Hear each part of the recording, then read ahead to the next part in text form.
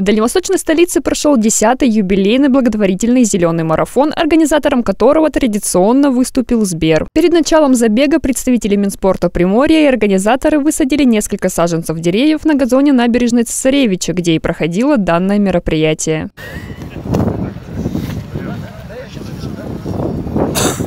Этот забег является всероссийским и проходит в 60 городах. В Владивостоке открыли физкультурное мероприятие «Дети». Для них дистанция была 420 метров. Настроение хорошее, надо так и продолжать. Это было весело и круто. О, супер! А как сейчас настроение? Очень хорошее.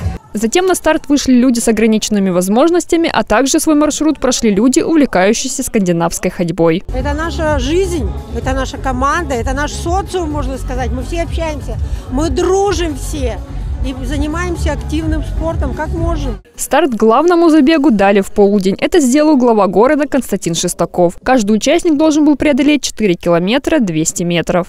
Настроение великолепное. Получается, сейчас чувствуем себя просто бодры, веселые. И Сбер – это вообще супер. Молодцы, классно. Многим участникам забега важна была не победа, а атмосфера спортивного праздника. Организаторы мероприятия «Сбер» подготовили насыщенную концертную программу спортивной развлекательной активности для всей семьи. Все участники зарядились на зеленом марафоне энергией и позитивом. Мы поддерживаем всегда эту акцию, которая направлена на не только на здоровый образ жизни, а вообще, чтобы сохранять планету. Первый зеленый марафон прошел в 2012 году. За эти годы его участниками стали более 1 миллиона человек.